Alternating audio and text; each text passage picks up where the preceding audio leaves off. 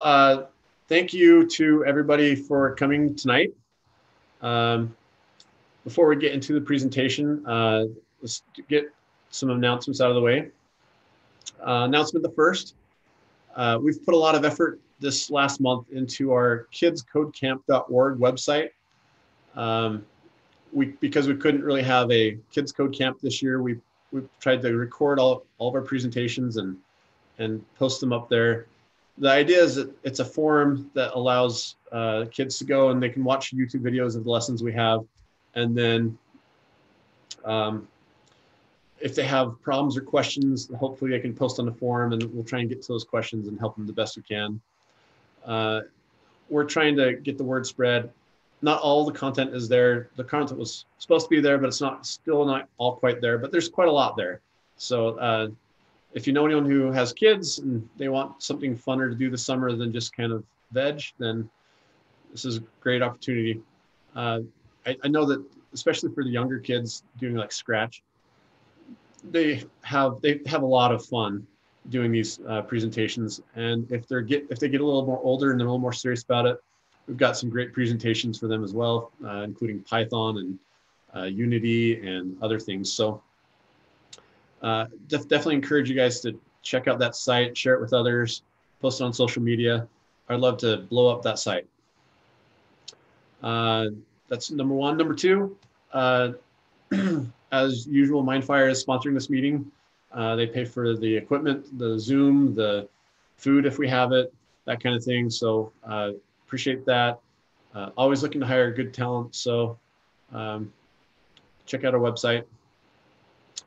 Uh, let's see, Phil, am I missing anything? No, I don't think so. Okay, so uh, let's see. I assume you can see my screen. Is that accurate? That's affirmative. Okay, let's do this then. All right, so I'm very excited and privileged to get to talk about .NET 5 and C Sharp 9. Uh, I've been looking forward to this presentation for a long time, ever since .NET 5 was announced.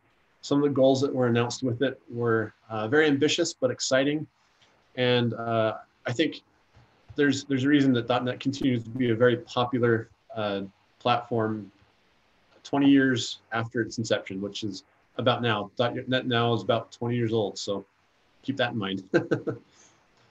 um, so let's get started. Let's see. Yeah. Here we go.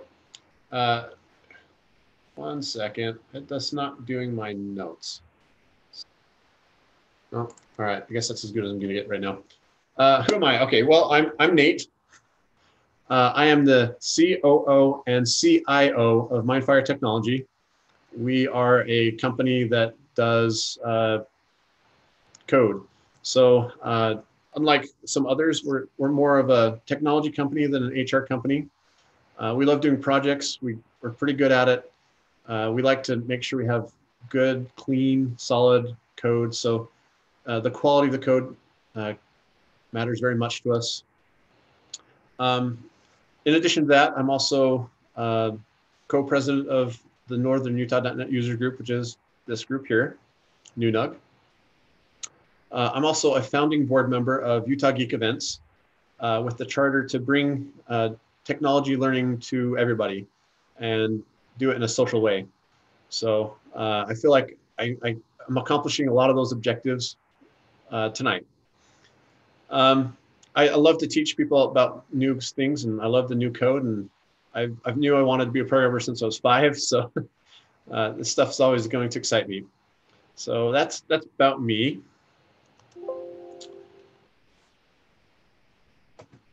Okay, so a real quick overview of what we're going to cover. We're going to talk a bit about .NET 5. I am unfortunately not going to show any demos. Uh, I was planning to, but uh, you know, when you work with something that's not yet released, it's it's really risky, and I, would rather have a better presentation and just use slides than a less good presentation that doesn't go so well because I tried to do live demo too early on preview stuff. So uh, unfortunately, yeah, I, am only going to be talking about this, the code and not showing much of it happening, but I do have code samples.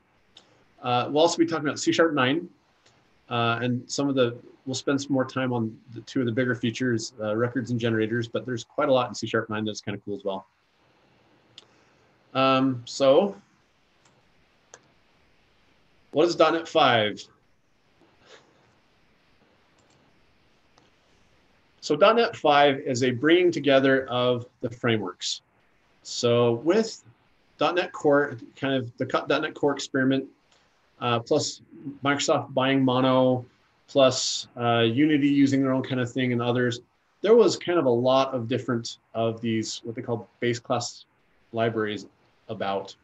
And the idea between .NET 5 is to bring all these base class, class libraries back together, the, the traditional .NET framework, the core framework, all the frameworks uh, into, into one. Um, and the idea behind that is there's some kind of pain in the way we're developing right now. And I'll talk about more in a minute, but having to publish just kind of one set, one assembly in a NuGet package, for example, and know that it'll work on the desktop, the web, the cloud, the mobile, the gaming, the IoT, the AI, the everything. That's really cool. And that's a, a place we haven't been in a very long time. But not only does it work on all these platforms, it works on all these different operating systems and, and different places. More, it'll run in more places now than ever before. Um, so a unified platform, that is the, the main takeaway of .NET 5. Okay, so there's a lot of things that are promised in the original announcement. We are now on preview six of .NET 5, and we haven't made good on all of these things yet, um, but it looks like they're making enough progress that they'll probably get all this in here and, and not have to cut, them, cut a lot of it. So what did they promise? They promised the unified platform that, that we talked about just a second ago.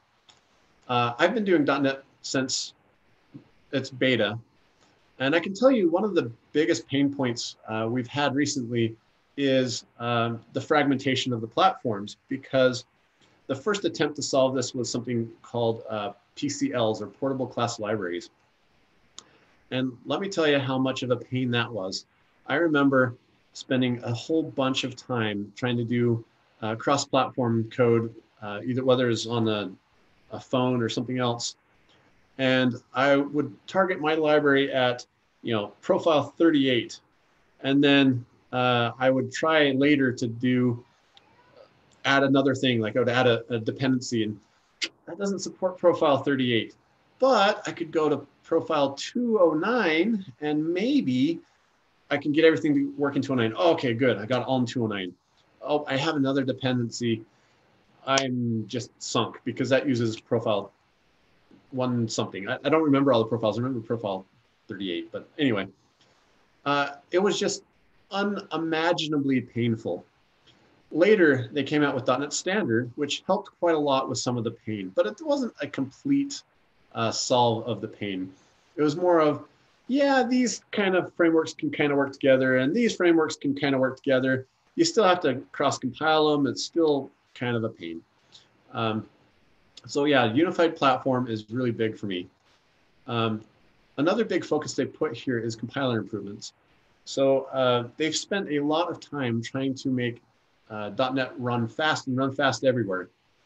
So uh, we'll talk a little bit more about these, but faster JITs, uh, faster startup, lower memory footprint, container optimization, AOT support, AOT being very important for Blazor. Um, some other things, um, language improvements, which we get in C Sharp 9, better interoperability. A lot of people overlook one of the operability uh, things that we wanted to solve was Java um, because, well, Java is the language of Android. And uh, until recently, we haven't had a great way to actually interop with Java. Um, they also want better interoperability with Objective-C and Swift and better native exports. Uh, again, more on that in a minute. And then Blazor and WebAssembly was also promised as part of this package. So we've, we've already got Blazor and WebAssembly delivered already. Uh, C Sharp 9 is uh, part of .NET 5 and it's in beta. And the uh, improvements have uh, been made, a lot of them. So we're pretty well close to what they've originally promised in the announcement. Okay, so uh, this is the timeline for general availability. So this is why this slide is this this slide matters. So .NET will be five will be uh, shipped in November. .NET 6 will be shipped in November 21, and that, excuse me, 2021, and that will be the long-term supported edition. .NET 7 will be in 2022, .NET 8, 2023, all November. So the idea is they're going to have a predictable shipping schedule um, and that every even numbered release is going to be the long-term support. So we see .NET 6 gets LTS, .NET 8 gets LTS, .NET 10 later on down the road will be an LTS. Uh, and that's not to say that they're not there isn't going to be a 5.1, 5.2. In fact, uh, as needed, they are going to do that. And in fact, I my prediction now, someone can tell me if I'm right or not a year or so from now, but I bet we get .NET 5.2 before we get .NET 6. Um, that's just kind of how the core has been going, and and .NET 5 really is the next evolution of .NET Core, so uh, makes sense. so let's see. Uh, any questions on that? Excellent. Okay, so some of the big imp performance improvements that they've already delivered on are uh, these. So let's just talk about each one a little bit. Uh, spans and ref structs. So uh, ref struct uh, is a new concept in .NET, and what that is is it guarantees that the struct stays on the stack. These ref structs cannot be put on the heap ever. So one of the things that we're probably mistold, uh, often by job interviews and stuff, is you know what's the difference between a, stack, a struct and a, an object or a class in C sharp? And we say, oh yeah, well the well the structs lives on the on the stack and the and the uh, classes live on the heap. That's not always true. Uh, a struct is often heap allocated. A good example of this is what happens if we have a class. So it's going to be bound for the heap. What happens if we have this class that is uh, has as one of its members a struct? Does it make sense to allocate part of that class onto the heap and the other part of the class onto the stack? Of course not. That would be silly, and, and no language works that way. Uh, and it wouldn't even couldn't even work that way. However, ref structs are different. Uh, if you opt to create a ref struct, you're opting in to an immense number of limitations on what you can do with that object in exchange for the guarantee that its life cycle will be practically free. So creating ref structs and deleting ref structs are extremely inexpensive. Um, they consist essentially of increasing a pointer on the stack and decreasing that po pointer on the stack, or having it kind of just wrap up once once the uh, call is complete. So yeah, the these these uh, ref structs are extremely fast. They actually built these spans and ref structs to make Kestrel a very uh, performant uh, system on. Uh, they were trying to make Kestrel much much faster. Uh, when when .NET Core first came out, uh, Kestrel was kind of a very slow and uh, awkward kind of uh, server. Uh, but now Kestrel beats IIS pretty regularly in throughput. Um, anyway, so let's see. Uh, spans. Spans are uh, just in a sentence. They're a way of taking a block of memory and getting a view or a window into that memory. So imagine you have a, a byte array uh, you can take a span that says, I want to index, start at index five of the byte array, and I want to go for length of 15. And you make that a span, and you can pass that into a function. And it can use that span as though it was working with a byte array. Uh, these spans are extremely easy. It's kind of an extension of the flyweight des uh, design pattern. Um, anyway, those are great things we've added. Uh, they're actually available to us now, not necessarily in .NET 5. Uh, regex and string functions, though, those uh, optimizations are reserved for .NET 5. Uh, the reg, regex, excuse me, regex performance has been vastly increased. So um, same with string functions, simple functions like uh, character at or uh, contains and things like that are all vastly improved. Uh, okay, so next thing, Kestrel improvements. So uh, like I mentioned before, Kestrel has been uh, performance tuned very well now. They actually have, uh, let's see, what is it called? That in the next slide. Pardon. Yeah, I guess so. Or I guess not. Um, so there's these competitions that they enter into, which I thought I put in my notes, but I'm not seeing it. Um, but these competitions are the, the fastest web servers available. And there's, they have different kinds of workloads that they benchmark on. And I can tell you that Kestrel uh, is either the top of some of these or uh, represents an impressive showing across all of them. So yeah, it's really become quite a performant web server recently. Um, let's see, uh, in pinned. Okay, so there's quite a lot of things that have been in, uh, done to the garbage collector to increase performance for it. One of the big things that was helpful is pinned, creating this new heap. So we know about the three generation heap, right? Then you know about the large object heap. They've created another heap type called the pinned object heap it turns out that pinned objects were a significant uh, hurdle for the garbage collector in terms of performance. So by creating a specific place where those pinned objects live, uh, the garbage collector can sweep much, much quicker than before. So there's a lot less exceptions that happen that it has to do special cases for, and it can go a lot faster. Uh, another thing that they're able to do is garbage collection performance on server loads where there's a lot of cores, it used to have to pause all the threads on all the cores in order to complete a garbage collection. They've now decoupled most of that. So the threads can garbage collect a little bit more independently of each other. And the amount of pause time for each of them is very minimal. They've also been able to increase the throughput for that and decrease the time it takes for it all across the board. So another huge leap in garbage collector performance. They did this uh, in .NET Core, and they did this again in .NET 4, 2, and above. So we we have a lot of generations of, of garbage collector uh, improvement, performance improvements, and these days it's extremely fast. The uh, overhead of garbage collector is very minimal. Um, okay, so tiered compi compilation performance. So uh, if you're familiar with too much of how Java works, they call this hotspot optimization, but in, in .NET we call it tiered compilation performance. And what that means is uh, if the, the CLR is noticing that this particular function is being called a lot, then it will take a little bit more time JIT compiling it a little bit more uh, for the native platform it's on. So the, a JIT compiler has to make this balance between uh, getting the code emitted really quickly for startup and getting it really well optimized for the platform. And typically you kind of have to just kind of make trade-offs.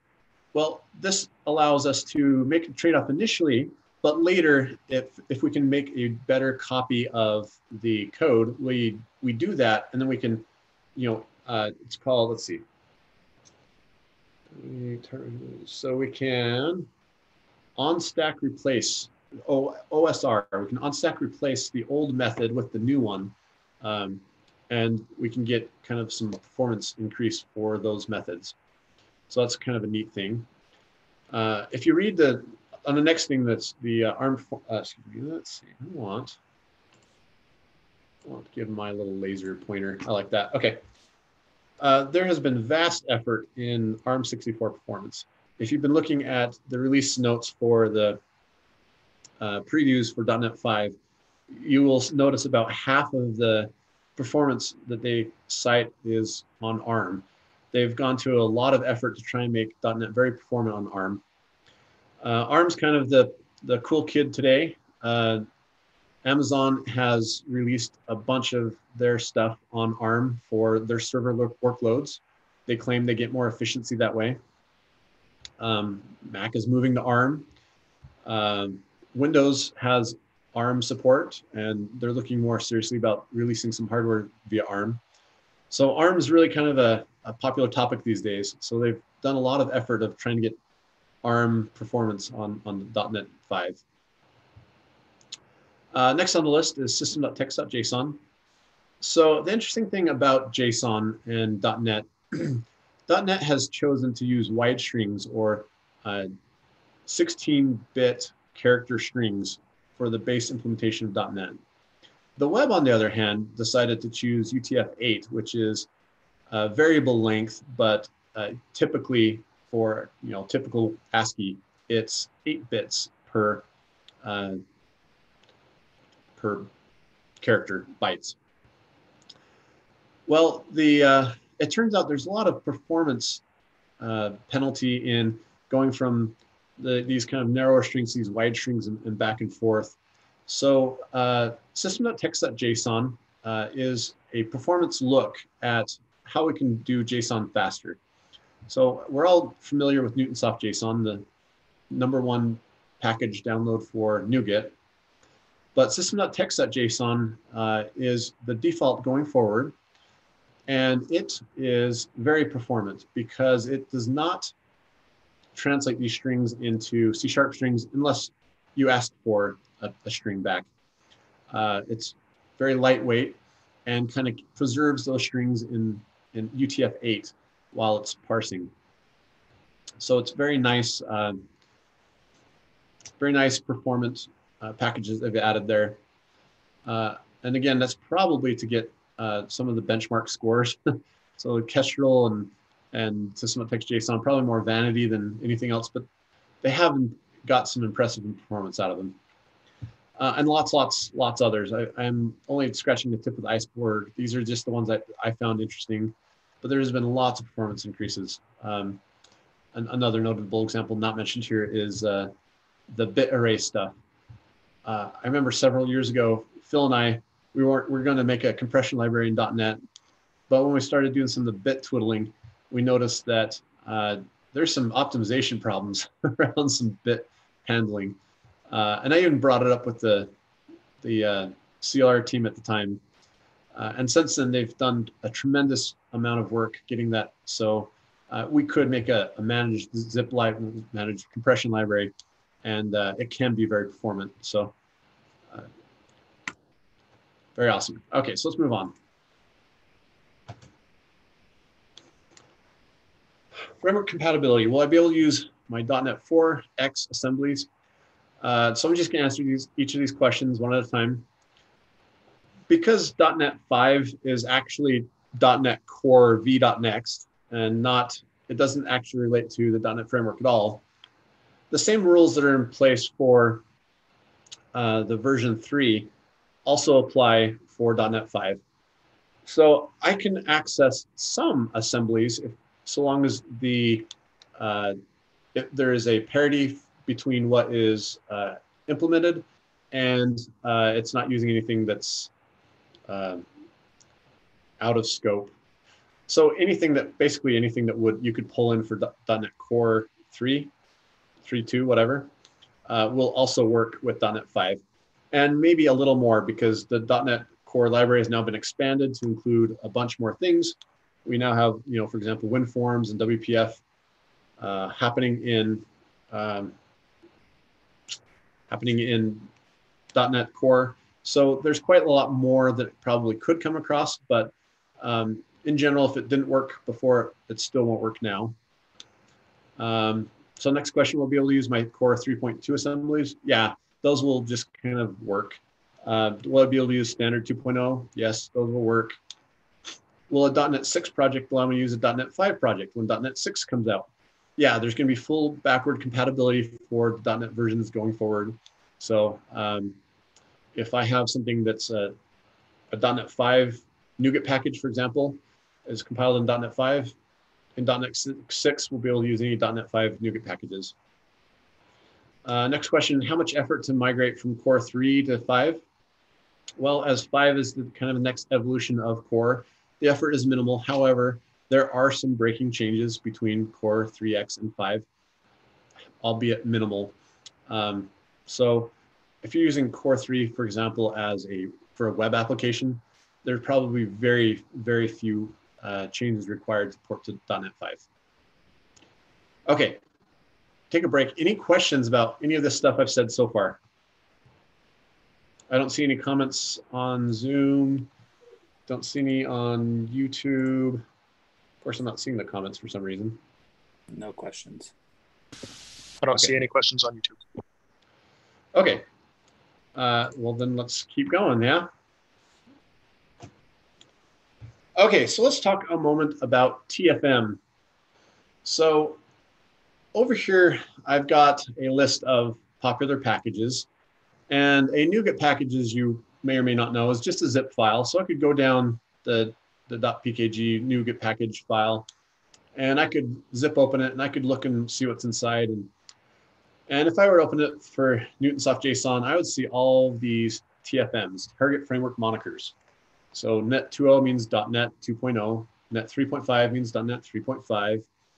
Uh, we've of course got the standard, we got the PCLs, we've got all this other stuff in here from uh, Mono Android, Xamarin, all kinds of things. So uh, we, with the bringing together the framework, we have an opportunity to simplify this, but only only to a point. So um, the thing with the, the uh, framework is, is thus, um, if I target .NET 5.0, and this would be one of the monikers I could perhaps use, then um, this would apply for anyone that uses the 5.0 framework. So it's kind of the most general case, right? However, if I need to uh, support something that's kind of more of a platform-based uh, package, uh, then they can they can add to these TFMs an, an OS. So for example, here I've got .NET 5-Android. And what that's saying is this targets .NET 5, but also uses Android-specific platform code. Um, this targets .NET 5 and uses iOS specific platform code. This targets .NET 5 but uses Windows specific platform code, etc. Um, to make things a little bit more complicated than that, uh, we, it's not probably quite enough to say I'm targeting Android because each API version of Android has its own uh, set of API that's available to it, its own limitations. So what we're packing into here is uh, the framework, the platform or API, and also a version. So if you can see down here, these are version specific ones. So I have iOS 13.0 uh, as an example. And they are necessarily complex. At issue here, we have framework version, target slash minimum OS version, target slash minimum uh, API version, target slash uh, CPU uh, architectures, all these things kind of factor in. So it's it's not an easy thing to just say, well, let's just have one moniker and it's .NET 5.0. So we have all these. Now they can mix and match. So if I've got a project, let's say I'm working on Android, anything that is .NET 5 can be used in the Android project, no problem. Um, however, if I'm doing a .NET 5 only project and I, I need something that's not Android, then I'm sunk. I can't do that. Um, there's also some ways for us to tell it what minimum version. So just because it says I'm iOS 13, I could say, well, but this actually goes down to, uh, to as low as iOS 10, something like that. So we've got these minimum version targets as an optional feature as well. And uh, another thing is it will prefer the more specific over the more general. So if I'm in an iOS project and I pull in like Newtonsoft JSON, and they happen to have a Net 5 iOS, I don't know why they would, but let's say they did, the iOS version would uh, be added over the just generic .NET 5 version. Um, and I think it's all to say about this. Let's see. Uh, it does add some complexity to how these relationships work, but um, you know, with so many aspects that we're looking at, it's about as simple as it can be.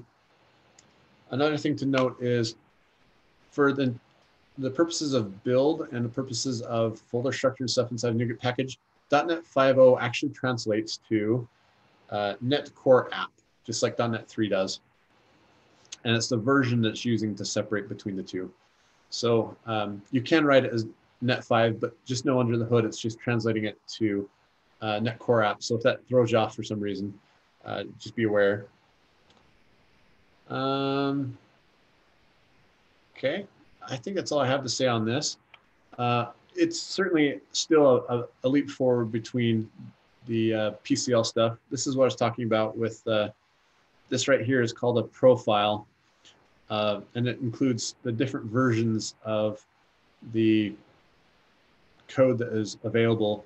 Uh, and then the standard, .NET standard was meant to replace that, which helps a ton, but is still kind of a problem. Uh, so this next evolution is is better. So I'm happy for that. All right, any questions on this? Okay. Uh, so let's talk about C Sharp 9. First thing I want to show, talk about is top level programs. So uh, if you were to write a program in uh, C Sharp 8 or below, this is probably the fewest number of lines you could write, the fewest number of characters even, almost. I mean, we could name this, you know, fast P and stuff, but this is this is uh, this is almost the fewest number of characters we could possibly create a hello world. It's not bad, but there's some room for improvement. So uh, with top level programs, we can take all of this and simply write this. So here are some of the rules.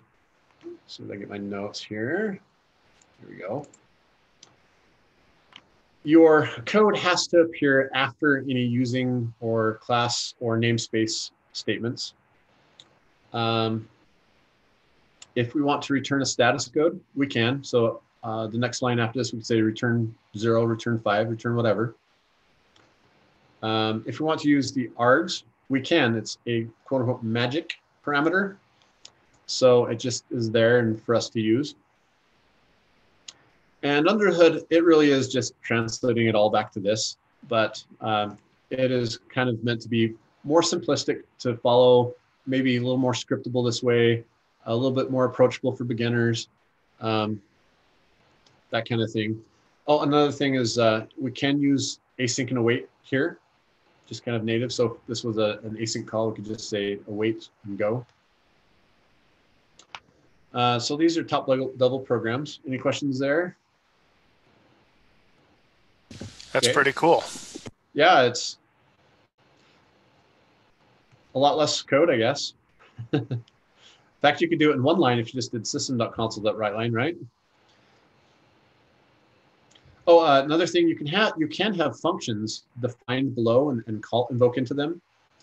The limitation there is nowhere else in your code can also call into those. So these functions that you might put down here, they're invisible to everything else can't be used, which is probably a fine, it's probably fine. Okay, next one, and init only properties. Uh, init only properties are an interesting thing. So take uh, this class we have here, class person. and then when we new up person, we've got these, you know, newfangled uh, constructor initializers, not constructor, excuse me, just initializing syntax, right? But under the hood, we all know what happens is this thing is being constructed completely. And then after that, it's calling the property first name, assigning it to Scott. Then after that, it's calling the property setter for last name and setting Hunter. That's all well and good, but the problem with that is uh, immutability. It doesn't allow for these properties to be immutable. Immutable properties, ones that are marked with read only, for example, they have to be set in either the initializer or the constructor. If they're not set in one of those two places, you've lost your opportunity. And so these could never be uh, immutable. Well, immutability is a really important aspect for us. So we want to get around that limitation. So what we have now is added a new keyword for uh, our getters and setters, and it's called an init. An init is a setter that can only happen on uh, initialization. So what this will do is now when I run this code, if I had these emitters, is the order of operations actually changes a tad. First, the, uh, well, okay, let me see. I'm, I'm trying, going to try and avoid saying something I don't know is true for sure, but let me tell you how I think it works and how the documentation reads. So how I think it works is uh, it's actually setting these properties as part of the initialization phase and then running the constructor rather than the other way around. Now, it could also be that they're uh, widening the scope of the read-only to include the init properties. So it goes initialization, uh, property initialization, constructor, and then initialization. Um, however, uh, what's going on here? One second. I don't know why that popped into a different configuration, but that was weird. Okay, so um, so it's it's one of the two ways. The way the documentation reads is it sounds like that these inits happen in initialization, so before the constructor. Um, however, I'd really love to test that. So one of these days I'll I'll actually do that. Um, see, one second. I'm still kind of. Well, all right, good enough. okay, so now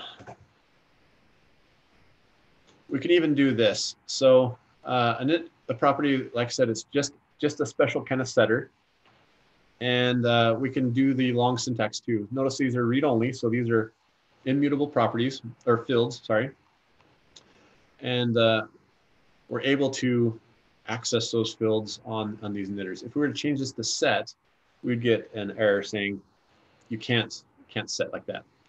So let's see. Any questions about the init only properties? We have a question in chat that's not related. Okay, what's the question? Um, in in the uh, top uh, top level programs, someone asked, "What about VB?" And so maybe the better question is overall, what about VB? I don't know if we're getting ahead of your presentation here. Uh, no, I did not address VB. Uh, the reason is uh, Microsoft has announced already that they are not adding new features to Visual Basic. Uh, so, as of when was that? I, I read it, but I don't remember what version they said they were going to cut off evolution.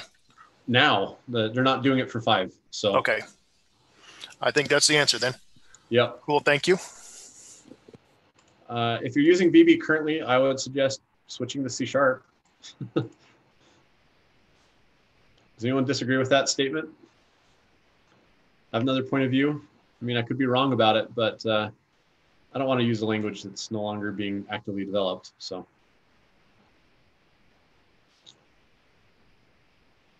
Okay, so let's move on. So this is the init only properties. Records. So I have quite a few slides here on records. Records are really cool. They've actually been in the C Sharp spec, believe it or not, since version seven or so. Um, and they just keep on getting bumped back, bumped back. But uh, we finally have them. They're not quite as they were initially envisioned. So we might have even presented on these before, I'm not sure. But uh, records are really cool. So in records, all the properties are immutable. And uh, we only have properties and constructors. There's no methods in these. They're meant to be just data, but uh, the way we can work with them is very efficient and also very easy, a lot easier to work with than uh, full-blown classes. So we'll kind of show how that works. Uh, let's get my notes. Sorry about this.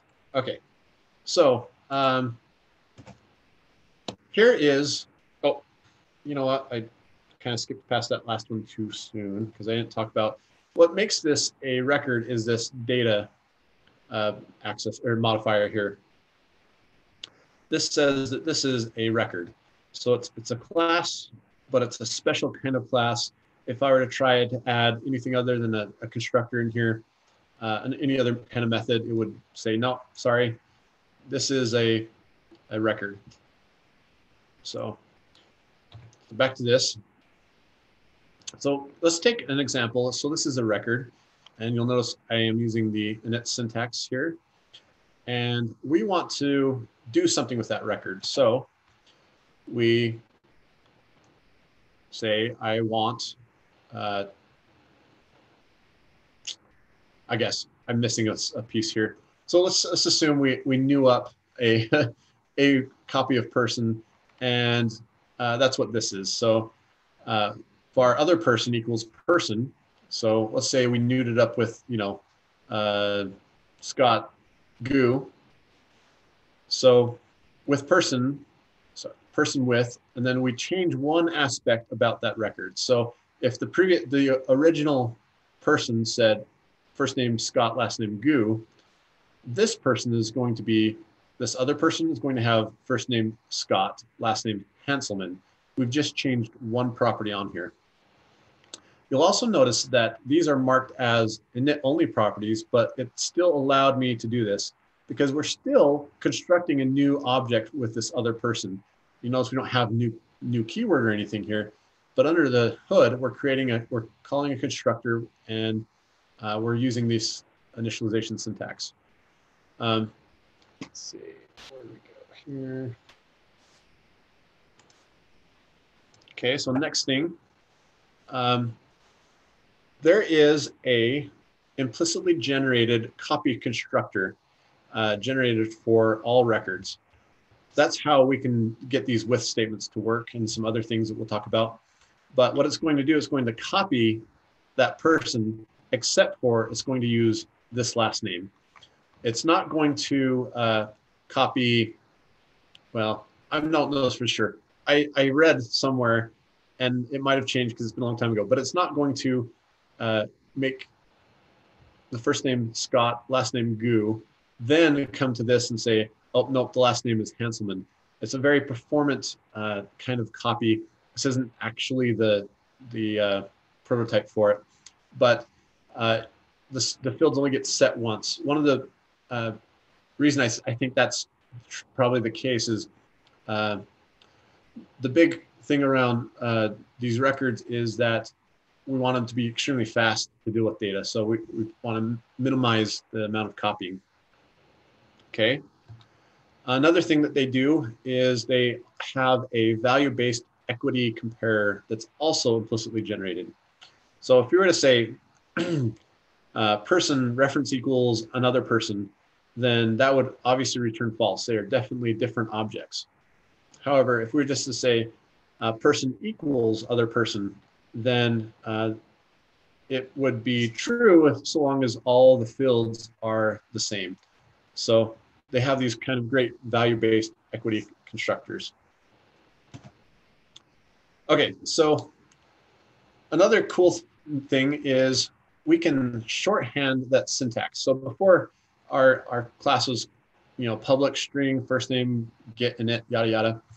We can make that exact same class in one line with this new syntax.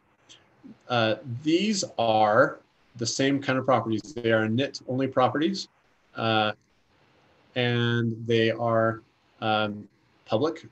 So all that is cut out, and we get this in just just one short, uh, terse kind of definition, which is kind of cool. Uh, equals exactly the same thing.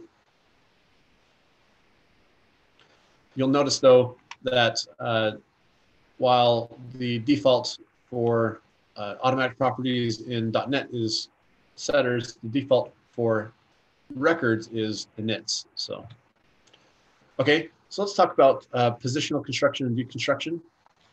We can, if we choose uh, to, specify a uh, positional constructor. So we create a, our own constructor. That's what this is here. So any person First name is first, last name is second. And then what we're doing is we're setting the first name and last name equal to first name and last name. If you're not familiar with this syntax, this is a tuple syntax. So we're saying this first name here is equal to the first name that came in here, and this last name here is equal to that last name there. So we're calling this a positional constructor because later, when we new this up, we're going to just pass in data and it's going to know that this first one's the first name. It's going to know the second one's the, the last name. We can also define our deconstructor. So I don't know if you're familiar with deconstructors, but uh, if you do a lot of JavaScript, you're probably very familiar with destructuring. Deconstructing is .NET's concept of that. And basically what it does is we can get out these two via position. So this is a positional deconstruction. So the first name and last name uh, are decon excuse me, deconstructed from person. So these are something, these, these were uh, concepts that are available now in, in, in, C Sharp 8, but in C Sharp 9, uh, the records, they just kind of have them uh, available to us as well. Okay. So next let's, next let's talk about inheritance. So records can inherit uh, from one another.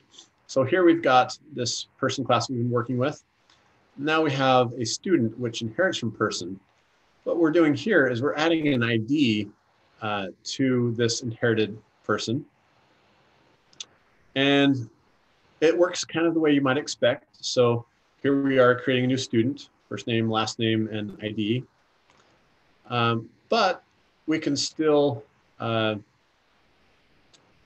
work with it as a person or with this as, as a student. So I'm creating a student, but I'm getting it back as a person. And when I create another person, I'm going to get, you know, just what I expect. Let's see, anything else about that? Okay, no. Okay, actually that's it for records. So before I move on to pattern matching, uh, was there any other or any questions about that? Did someone actually say switch to Delphi? That's funny. F sharp. Yeah, I guess you could go to F sharp. All right. so let's move on. Okay, so improved pattern matching. So uh, I'm hope you remember our awesome C Sharp 8 presentation given by Phil, not Phil, Dan. Uh, it wasn't long ago, maybe seven, eight months ago. Dan did a great presentation on C Sharp 8.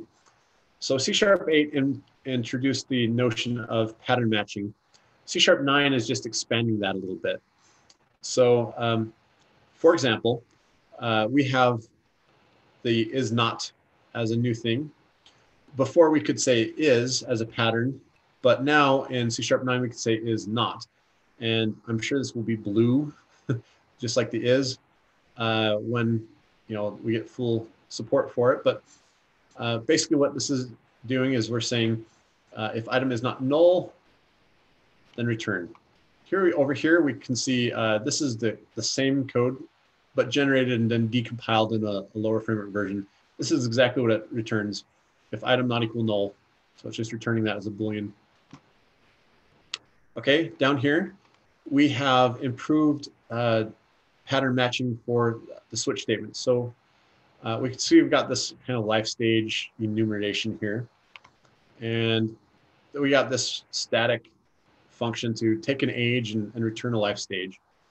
So uh, in the switch statement, we take that age and we say if it's less than zero, then return life stage prenatal. Notice we've got just commas here rather than semicolons and breaks and all that stuff. It makes this a lot smaller and cleaner to read. The switch statement is becoming more and more uh, the cleaner way of doing complex logic, which I think is cool. For we're less than two, so if we're greater than zero, but less than two, uh, it shows the prenatal. For greater than two, but less than four, then we show infant, on and on and on until uh, this late stage adult. Um, this underscore basically means we don't care about the value, and we'll talk about this in a second, but uh, this is a, an improvement on the pattern matching we had before. So what else can we do? Well, we can do quite a lot. So if you'll remember in C Sharp 8, we were able to uh, add these when statements and we're able to do it on is. So when, say, when, just as an example of the 8 version, uh, when T is, uh, you know, dump truck or that kind of thing. Well, we've expanded that beyond just uh, types to actual logical expressions. So here we have uh, pattern matching. We're going to switch uh, again on this vehicle object. And so what we're doing here is delivery truck T. This is the first pattern match. So what it's saying is if this object that's coming in here, if it's a delivery truck, then we want to continue to match this pattern. We're going to alias it as T so we can work with it later. So when T dot gross weight class greater than 5,000, this is the next part of our uh, logic expression. So if it has a gross weight class greater than 5,000, then we're going to return, you know, some function here. Um, but if it's still delivery truck and it's less than 3,000, we're going to return something else. And then we have just if it's we just if it's a delivery truck and it's not either of these things, then we're going to return this value. And then lastly, we have the else or uh, default expression that going to throw, uh, we're just going to throw away that underscore. We're just going to throw uh, non-known vehicle type exception. Okay. So keep that in mind. And now what we can do is we no longer need to put these underscores. They decided the underscore is kind of ugly. And if we're never going to use a variable, we should really actually not have it. So now what we can do is just delivery truck, then it's 10 get rid of that. We can get rid of that. Um, additionally, we can even make it a little bit more complex. So let's say we wanted a nested switch expression inside of here. So we can take this expression here and then change it to uh, delivery truck T, one T, gross weight class switch. So we have a nested switch statement, and then we're able to just kind of uh, that's what I'm looking for. We're able to combine a lot of this stuff we would have to type out in such a way that a it's more readable and b it's a lot less effort to to do this.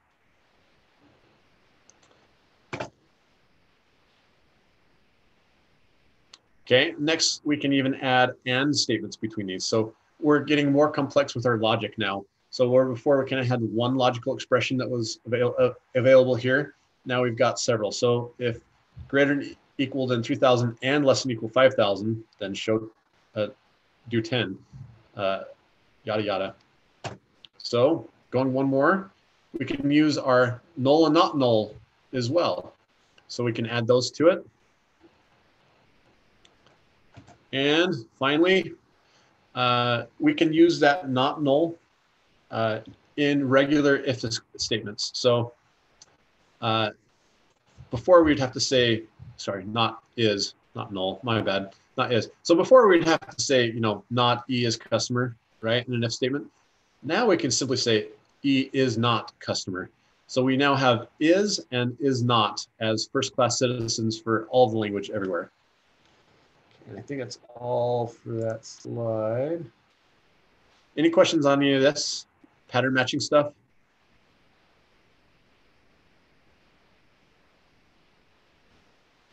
You guys are kind of quiet today. It's cool stuff I'm presenting, and there's crickets. Maybe you're all awestruck, right? the, these pattern matching improvements are just fantastic. The the old pattern matching was the one feature I looked at in C Sharp 8 and thought, this is so ugly and so hard to remember. I'm just not going to use it. I don't think that there's enough benefit for it, but I think this changes that. It's yeah, much nicer. It's it's not as limited as it was before. So cool. Okay. Um, let's move on.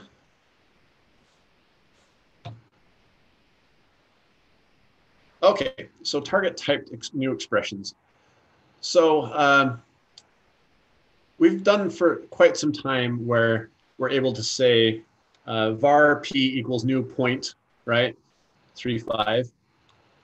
Um, now we're able to actually do the opposite as well. So we can, it's type inference, but on the other side, right? So we know we're newing up a point object here, but the type is on this side instead of this side. The reason we're doing this is because um, in some cases you get a more readable experience by having the type inference happen on the left-hand side rather than the right-hand side of, a, a um, of an expression. So this looks pretty pretty readable, right? Um, also, for they're recognizing that a lot of us are preferring not to use var for uh, CLR, uh, base CLR types like uh, string and int and things. So it also helps with those kinds of things as well to make our code be just as readable and valuable, but not have redundant types. Um, so here we are, we have a person and we're going to set it to a student or a customer so we can share the base type. Uh, and that still works out. And here we go. We have an int, nullable int result. And we can just say zero or null. We don't have to cast this like we used to have to. So this is also more readable.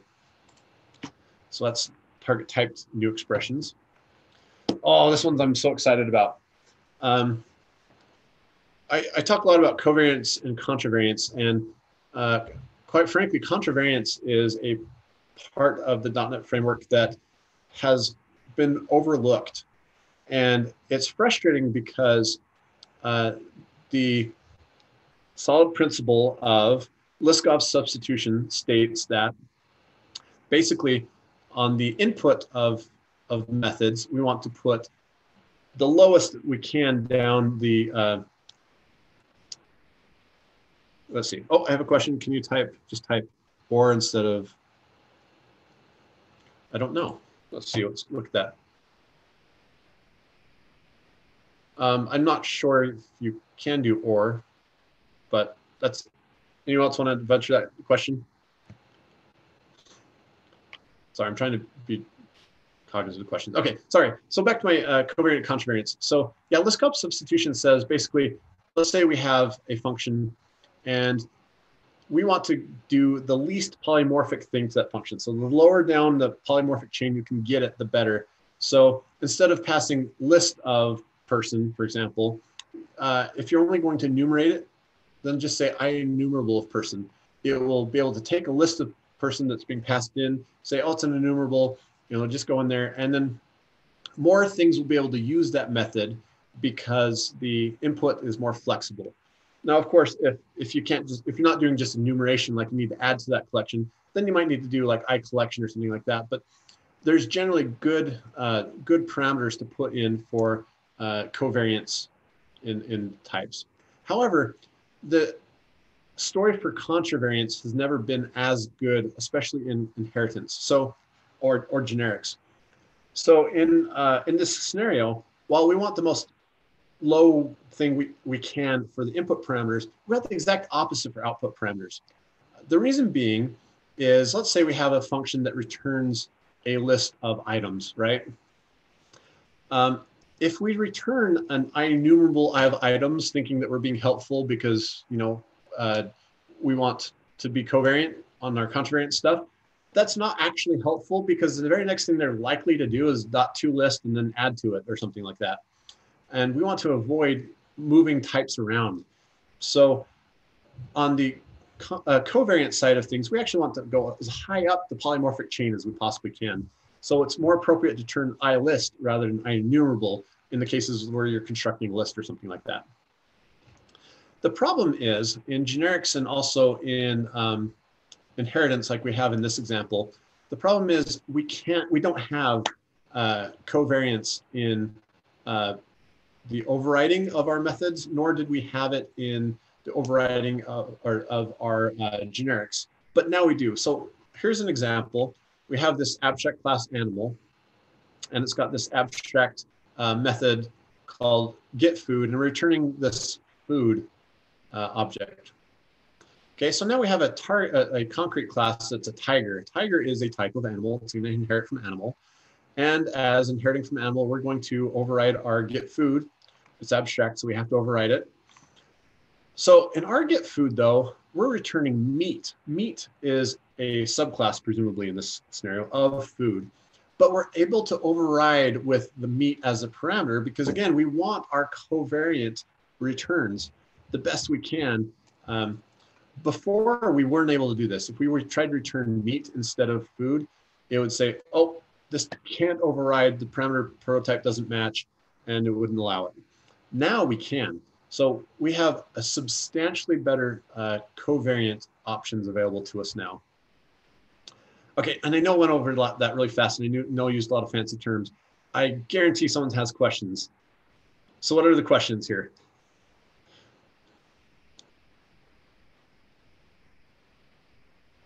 Let's see, type inference on the left side being assignment. Okay, I think that's a, an older one. Uh, does anyone have any questions? There's got to be someone have questions on this one. Phil, you look confused. No? Sorry, I was I was participating in the chat and I kind of missed this one, and I feel bad because I'm really interested in this. I'm going to review it after the uh, stream. How about I'll repeat it because covariance and contravariance are such complex topics. Uh, that might be a good idea, and okay. I'd like to hear it. So let me just briefly talk on covariance and contravariance in, in and of themselves, and then I'll, I'll talk about the enhancement here. So covariance is the ability for me to have a function that takes a, a baser parameter than mine and pass it in anyway. So in this case, let's say we had an eat food method that took a food parameter. So we're adding to this. In fact, you know what? Uh, let's, let's do a little impromptu here. So let's say I've got a public abstract. Oh, that's gonna be really tiny. Let's say you have a bigger font. Yeah, let me fix that real quick. Uh, 20, 20 ought to do it. So I public abstract, uh, void eat food and then food F. Okay, if I have an A that is a, a type of animal, our A equals new tiger. Tiger's type of animal. You get something concrete. So if, if I say A dot eat food, and I pass something in here, uh, meat food,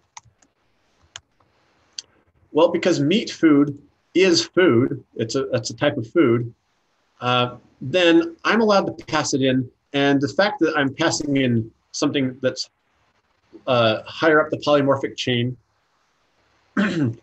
uh, for something that's lower on the polymorphic chain, this concept is called covariance. Covariance is allowing me to pass in a polymorphic substitution, right? Uh, but it's polymorphism in just one direction. It's polymorphism going, you know, down the down to something. So I so if I have something higher up, I can substitute for something lower down, right? Okay. However, um, that, so this is covariance. Contravariance is doing the th same kind of thing on the return. So here we have a, uh, a class animal and it's returning a food item, right? In our concrete example, our tiger, it's an animal, so it's an inheriting animal. We're going to implement this get food method. It's not returning food. We're returning a, sub, a higher up polymorphic, higher up the polymorphic chain, uh, something called meat. So this meat is going to satisfy the notion of the, this being food. Having something uh, being returned that is polymorphic higher up the chain than uh, what is expected is called contravariance. So that's the new that's the new feature here. Um, if we're trying to do this in C sharp 8 or below, we're going to get an, an error, compile error, saying this there's no uh, override substitutable here because none of the get foods that are available are returning food. These these types they're cemented. If I if I really return meat in here, I'd have to cast it later in order to know and that kind of defeats kind of the point of uh, polymorphism. So uh, this new contravariance uh, addition allows us to return in overridden methods something that's higher up the polymorphic chain, like we should. We always should on our inputs go as low down the polymorphic chain as we can, and our outputs go up as high as we can on the polymorphic chain. Um, so anyway, yes, very exciting. I've been I've been looking for this feature literally for years and years and years and years, and I'm so darn excited that we have it now. Second favorite feature. First one's yet to come here. Okay, so I've repeated it now twice. Uh, did I lose anyone? Is there any questions about what I did? I understand this. Uh, so, so I have a question. Just to make sure I got this correct. So really, yeah. the only thing this is saving you is a cast, right? Sorry, one more time. The only one. The only thing this is saving you though is a cast at that place where you're using that object. You're just now you don't have to cast that meat from the food object, right? You're right. You're saving you the cast, but uh, what the cast implies is knowledge of implementation. So you're really kind of okay. If you if you're casting it because you know this is actually returning this, that's a bad idea. You're breaking the law of Demeter. You're breaking uh, encapsulation. You're breaking all kinds of of concepts if you're casting it after that. So yeah, it's saving you the cast, but more importantly, it's allowing us to keep the integrity of our uh, encapsulation, polymorphism, all that stuff in place. And we don't actually have to incur the cost of the cast anymore either. So yeah.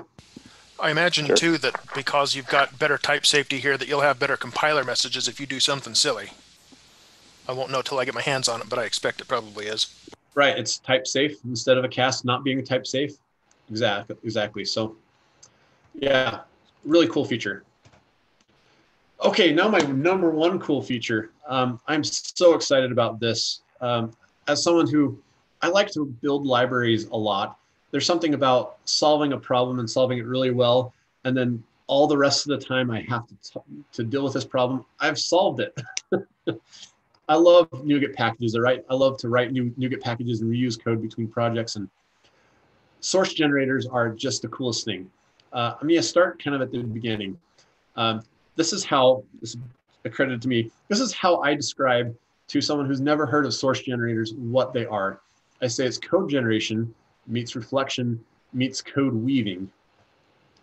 Um, so we've talked about code generation in our meetings before, lots and lots. We've talked about, we all probably all have used reflection. Uh, we've talked about code weaving even uh, relatively recently with uh, PostSharp. Um, so code source generators are a really neat thing. Again, this is a this is a completely novel approach to this problem. So uh, see if we can kind of get our head around it. So um, it's as I see it, targeted more towards uh, libraries that normally use reflection or something like uh, PostSharp to do to get their jobs done. Um, it allows code generation to work kind of as though it's already happened, yet it hasn't happened yet. So because we can tell it, we are going to give an invitation to this to the compiler beforehand. The compiler says, fine, I'll expect that it's there. That way we get IntelliSense support, full IDE support on there. We get uh, to know about uh, caller targets, etc. in design time and runtime. Uh, it's just the super neatest thing ever. Um, but here's some of the uh, the big. Well, actually, let me do this one and then come back to this one. So, uh, here's some of the big examples of, of where this would be helpful. So uh, the examples include serializers and deserializers. Serializers and deserializers almost exclusively use reflection. Reflection's pretty fast, but it will never ever be as fast as code that was generated to actually create a serializer for this specific class or code that's actually designed to deserialize for this specific class. So uh, JSON, for example, would work in a completely different way. Rather than having, hey, I'm going to pass this in and get it back out and it's going to just match stuff up and go, uh, I get a, a class that's generated but more than that, I don't know if uh, the JSON is going to kind of work. A lot of the stuff, I don't know if it's going to work until I actually run it. The advantage here is there's an opportunity for us to know if this is going to work in IntelliSense time. Uh, so we can know before we run it whether or not this is actually going to fly. Um, I notify property changed. I know there's there's a, a different code weavers to add that kind of stuff in. ORM mapping would be another good one because that's code that's generated. uh, API calling. So we have an API, we just want to make a, a nice clean wrapper for it, or we have a platform API or a web API. We can make wrappers for that. Settings access, we've got various settings rather than accessing them by key, we can just access them by name. That their classes can be generated for us. Uh, and lots, lots more examples. So um, it, we just kind of get the best of all the worlds. We get very fast code. We get uh, generated code that uh, is uh, integrated into our IDE. We get um, type more type safe safety in, in some in some of these pieces of code. It's just fantastic. So here's kind of the the uh, the life cycle here. So the compiler runs. The very first thing that's going to happen is these source generators uh, get an opportunity to run. Uh, those source generators are going to analyze your source code. How are you using this library? They're going to generate their bit of source code, and it's going to be added to the compilation chain, and then compilation resumes. So it's kind of like we have these placeholders where say we're going to compile something here, and then when we do compilation, we're saying, okay, I need to compile, but first I need to know more about the, what I'm compiling for. Get that information, generate something, spit it out, and we're done. Um, so here's the hello world here. So let's say we have a library that uh, for some reason does not say hello. I mean, this is obviously not a, a good practical example, but uh, we always start with hello world. So say this is a library and it's, we're calling say hello. Inside that library, we would add this generator decorator and we need to uh, inherit, excuse me, implement this interface. But um, we're going to have two methods that we've got to do. So there's initialization, uh, no initialization required sometimes, but there's initialization and there's execution. So um, inside this execute, we would have bits of statements like this. Uh, you see we have a source generator context here. This gives us information about what is calling. So using the calling contract, we can get all the syntax trees. And syntax tree would say, well, here's the, the file path you're calling me from, and then return that as part of the hello. Oops. Ah, there we go. So I don't have a lot of example for this. I was going to bring up the actual examples from uh, our Roslyn though. So, okay, so this is the uh, NuGet hub, sorry, not NuGet, the uh, GitHub for uh, the source generators. And let's look at a couple of examples. So um, look at the generated demo. We'll start kind of here. Um, so here's a, a view model we'd like to, to augment. So we've got these auto notify property uh, things on here. And then here we go. We've got a using generator. So when it runs, it creates a new view model. It uh, writes a text property. Okay, but that's not the property thing. Sorry. Uh, actually, I think I wanted to be in here and here.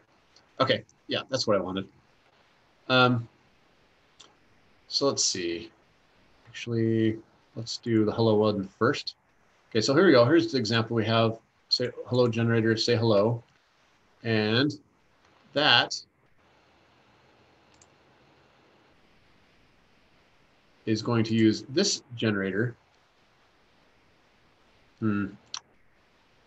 Well, obviously, I am not seeing what I want to see, expect to see here. Darn it.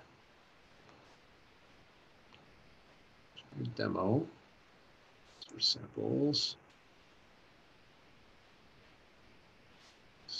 Hang on one second, sorry.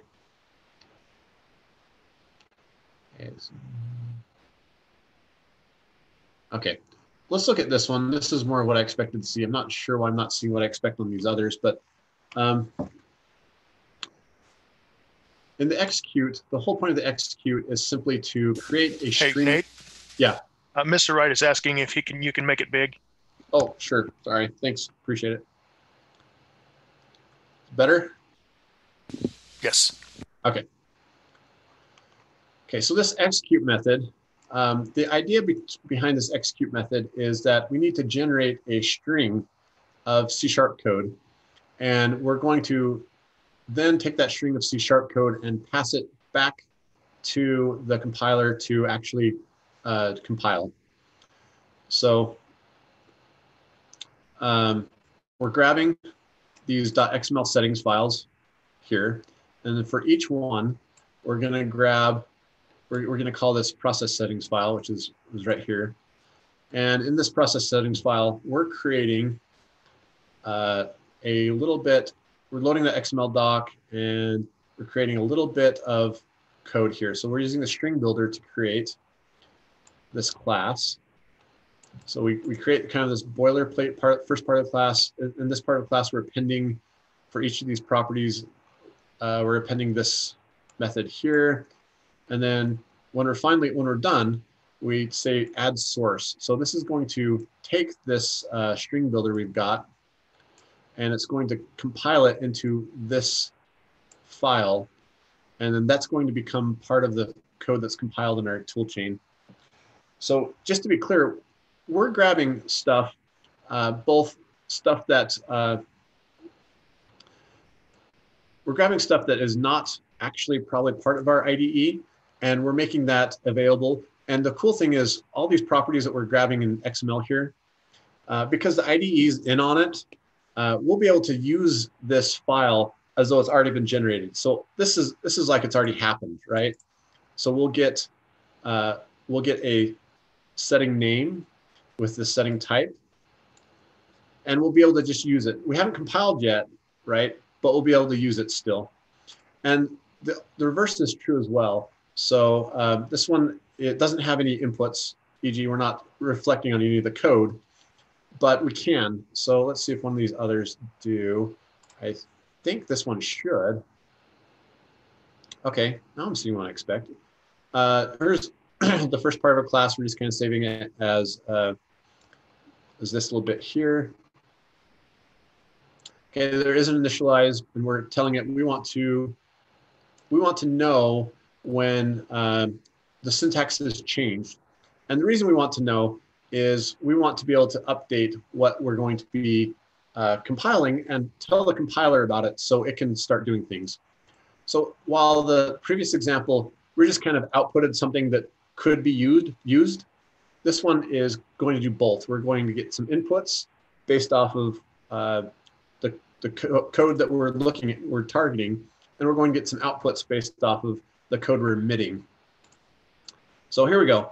Uh, we're adding auto notify property attribute right off the bat. Then uh, we're checking to see if we have a syntax receiver.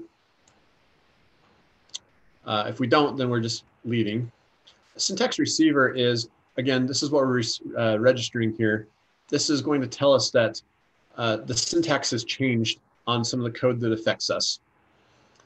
And um, so let's see, where are we? So we're grabbing some C sharp options, we're grabbing a syntax tree. Let's see. We're going to bind an I notify property changed. So we're adding, grabbing this.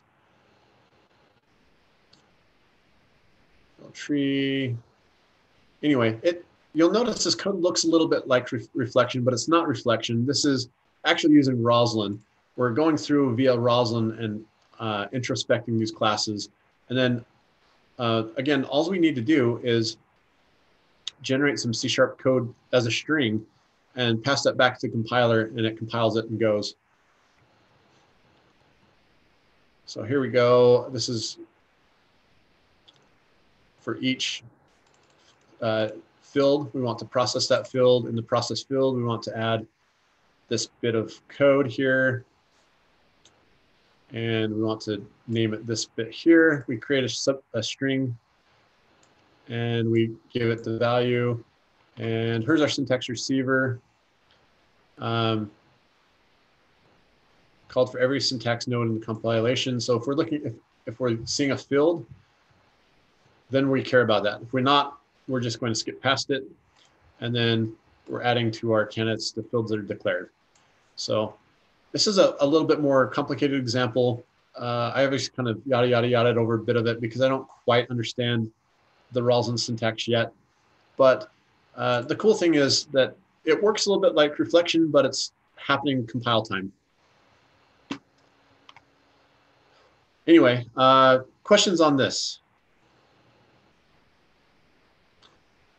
I would comment that it looks very much like um, uh, there's a there's a .NET language nobody knows about called Prism, and it's Object pa Pascal, which I was forced to use for a few years, and it wasn't the worst language, but it was terrible integration with Visual Studio.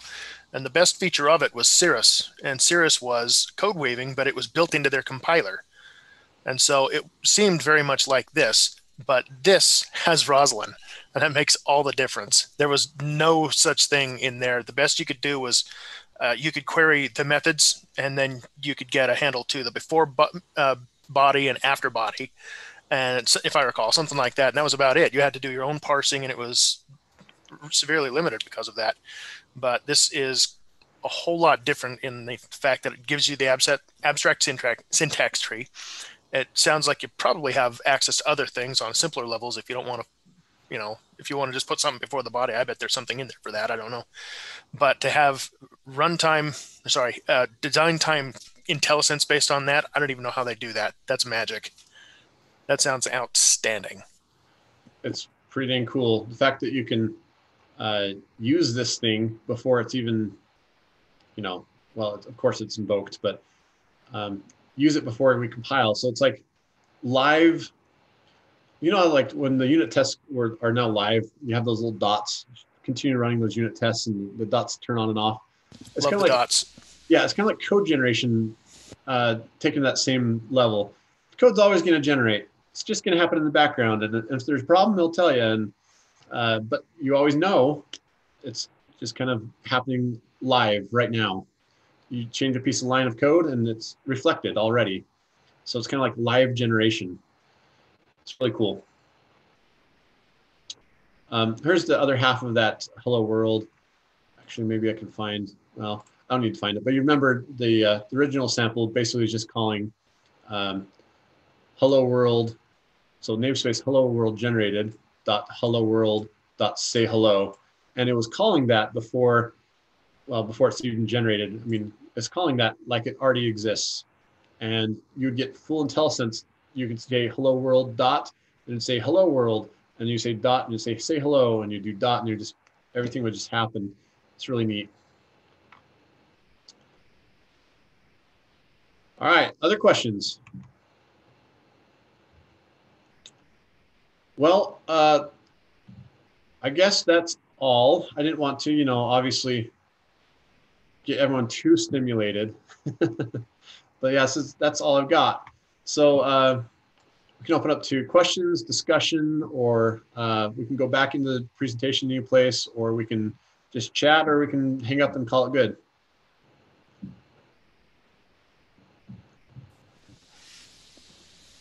We can also oh, solicit. Question: uh, What is Roslyn? Uh, Roslyn is the uh, the compiler uh, framework that .NET uses. It is a very advanced uh, compiler in that it has a lot of information about uh, the types and uh, things available for anyone who wants it. So uh, it used to be that the compiler that we used for Visual Studio IntelliSense was a completely different compiler from the compiler that actually generated our code. Roslyn was the first compiler that could do both things. It's going to compile our code, but it's also going to give you all kinds of information about it. Even if the code that is it's looking at doesn't actually compile yet or at all, it can give you all the information still. So it's a very advanced compiler, probably one of the most advanced around. Um, but its its function is very uh, very good at uh, introspection of classes. Did I, I answer that well, Phil? Yes, um, I would add. I think it was the first compiler as a service that I heard of. Uh, no, they were they were scooped by LLVM. Uh, oh, that's true. Yeah. but still cool. Every time I see something that I can't even explain that just blows my mind in .NET, it's because Roslyn was able to make it happen. Yeah. One other thing we could do is we could solicit uh, volunteer speakers or meeting topics. Excellent idea. My first my first suggestion is that next month we have a moratorium on VB. A moratorium isn't like a memorial. Uh, w- well, a celebration of death. Yeah. Oh, okay. Uh, I'll put it on the list, but I don't know how excited I am to do anything VB. I'm joking.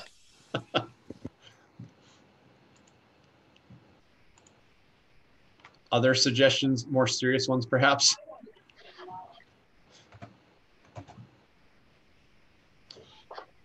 I would love to see an entire uh, presentation on source generators.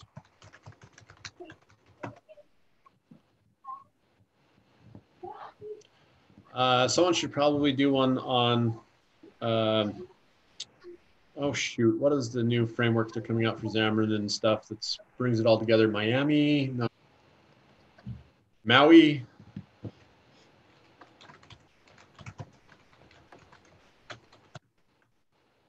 It might be a little early to look at that, but um, other UI platforms would be an interesting meeting. I think. Oh, I was right. It is Maui. Okay. Is it? All right. How does everybody like the uh, online format? It's a little different than last month where we did just YouTube. With the Zoom, I think it's a little more interactive. Is it working out for everybody? Yeah.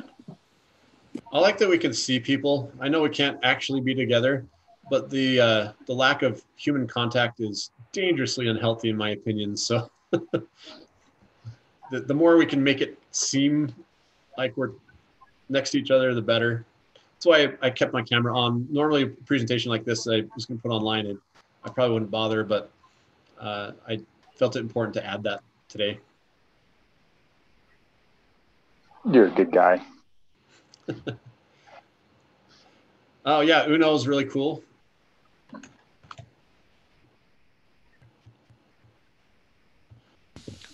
Frank says Zoom didn't let him in. Shoot. Well, I saw the same thing for a moment, but then it did let me in. I, that was me neglecting my jo- my job. Dang it. Sorry, Frank. We'll Uh, learn. Next meeting, I will promise I will tell it to just auto admit. I don't know. I thought I did that this time. Well, we had good participation. There were, uh, I think there were five or six on Zoom here, and there were there were about a dozen on YouTube. When Alma suggested Win UI three.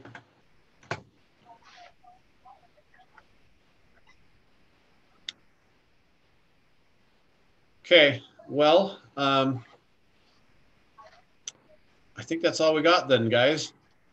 I appreciate uh, appreciate your time. Hopefully, information is was useful. And uh, since you're on YouTube, it would be uh, appreciative if you would subscribe to our yeah subscribe to our channel. Uh, so when we post our meetings there, you can get that content. We sometimes uh, post other things there as well. Um, if you're not already on our mailing list, uh, go to nunug.org and join. That's where we send primarily our, our uh, the information. So uh, mailing list is kind of a big thing. Uh, we still do Meetup, of course, but And Slack. in Slack. Yep. On our Slack. I think we fixed the issue with running out of invitations. Is that correct, Phil? No, we did. Well, we got a new URL that doesn't have it, Okay. and that URL is on nunug.org on the about page. Very good. Okay. Well, uh, thanks, guys. I appreciate your time. Hope you enjoyed the presentation.